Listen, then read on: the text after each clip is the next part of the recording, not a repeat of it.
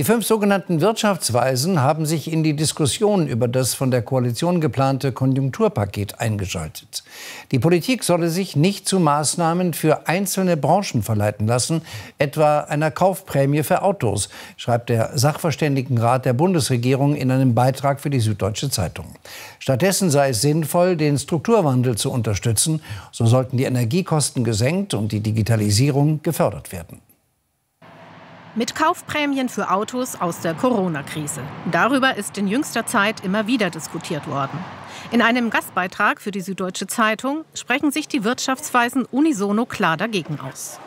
Die Abwrackprämie ist ein ähm, schlechtes Instrument, weil sie konjunkturpolitisch nicht zeitgerecht wirkt, sondern erst spät, weil sie nicht nur im Inland wirkt, sondern äh, vor allen Dingen auch ausländische äh, Produzenten begünstigt.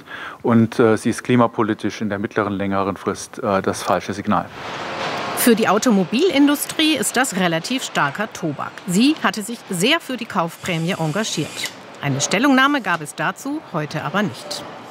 Statt der Kaufprämie empfehlen die Wirtschaftsweisen ein Konjunkturpaket, das vor allem dem Strukturwandel helfen soll. Dazu gehören Senkung von Energiekosten, Investitionen in Bildung und Infrastruktur und eine Ausweitung des steuerlichen Verlustausgleichs. Bedeutet, Unternehmen könnten Verluste aus dem Corona-Jahr ins vorherige Jahr übertragen. Das würde heißen, dass dann in Höhe dieses äh, Betrages ähm, der, äh, das Finanzamt Steuern aus den Vorjahren erstattet. Das bringt dem Unternehmen Liquidität und auf die Art und Weise bleibt es leichter am Leben und muss keine Insolvenz anmelden.